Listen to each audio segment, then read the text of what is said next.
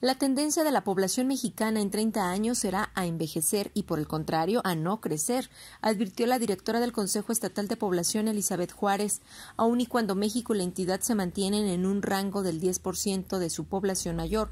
En unas tres décadas se incrementará y disminuirá la población infantil y juvenil.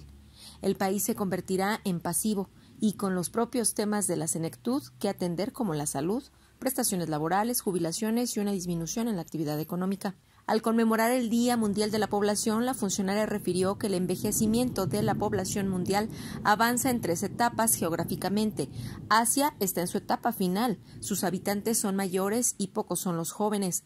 En el caso de los países de Europa, avanza a un 25% de su población vieja y Latinoamérica oscila entre el 10 y el 15% consideró que en el marco de la celebración se debe de sensibilizar, reflexionar y actuar respecto a los problemas que enfrentará la población nacional con más años de experiencia, pero menos productividad. Yasmin Ferreira, respuesta,